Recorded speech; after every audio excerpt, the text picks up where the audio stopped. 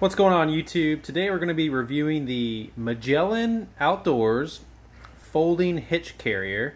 I bought this at Academy for $45 and this is 60 inches long by 19 inches wide.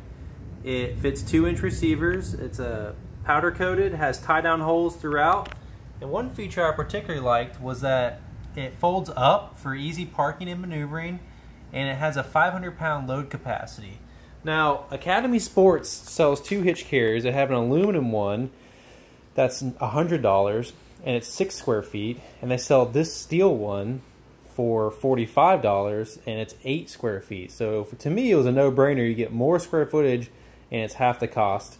Um, now, what I did add on there was some cool trailer lights, and that's kind of why I'm showing you this video because I'm I'm proud of the trailer light assembly.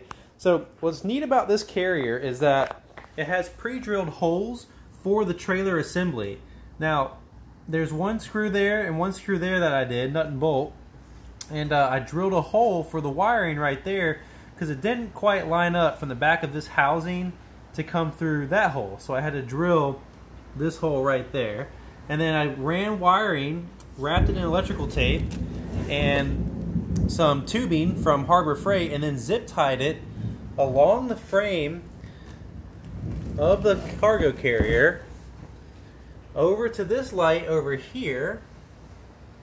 And then I ran it through the center gunnel or center bar of the hitch and the wire pops out right here. And I just plug it right in. It works great. It's got the blinker function brake light function parking light function so now it gives it a really kind of nice, cool look to it. And it's uh, better than reflectors. The lights themselves are $45. So for $90, I was able to wire up together and have an awesome cargo rack. You can see here is where you adjust the pin.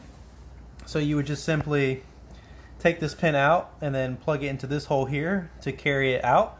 And then we want to stow it upwards. You just move this piece and that goes into the uh, vertical position. But yeah, overall the build quality was pretty nice. The hardware that it came with fit all correctly. The holes were drilled correctly. What's kind of nice too about this particular carrier is I'll pick it up here for you.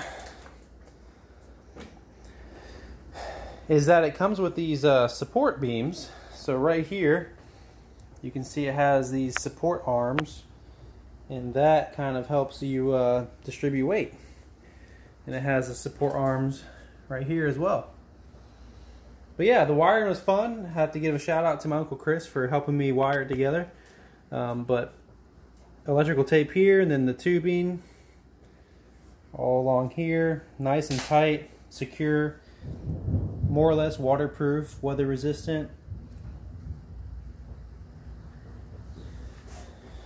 So yeah, there it is. Stands up pretty tall, 60 inches tall. But uh, yeah, so far I can't wait to try it out. Thanks for watching.